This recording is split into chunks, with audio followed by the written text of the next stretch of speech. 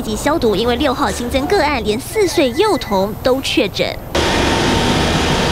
加上北市高中生确诊后传染给同学，全台六所大学也有学生出现确诊案例。四天清明连假后，学校出现请假潮，北市光是国中小就高达三千六百三十二人在六号告假，桃园市更达四千一百零三名学生请假。三十五点八度，上课要不要戴口罩引发讨论。教育部强调，高中及以下的学生，由于老师和学生有固定座位，也属特定人士，戴口罩标准一切照指挥中心规范走。教室要开窗通风。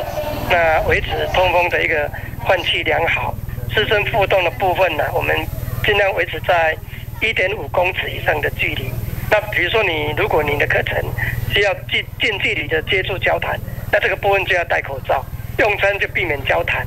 现行校园内并无强制戴口罩，除非学生交谈并未保持社交安全距离。而眼看四月十五号到五月三号是大学个人申请二阶正式时间，教育部也强调，若有发烧或身体不适，将另外安排备用市场。校园环境群聚且密集，防疫更不容掉以轻心。记者由喜飞轩收台报道。